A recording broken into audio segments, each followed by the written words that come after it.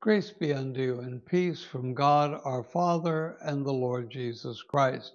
It is the, wait for it, 14th of February. No, it's Ash Wednesday. And you know I'm not doing this on the actual day because my forehead is clean of ashes and chocolate. But we begin Lent this day.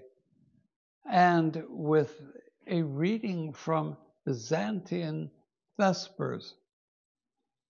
The Lord my Creator took me as dust from the earth and formed me into a living being, breathing into me the breath of life. Gone, God honored me, setting me as ruler upon earth and over all things visible, and made me companion of the angels.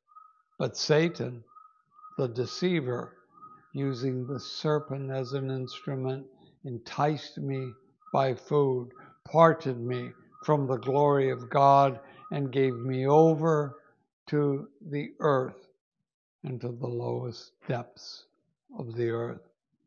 But in compassion, O Savior, call me back again. And the prayer, anonymous.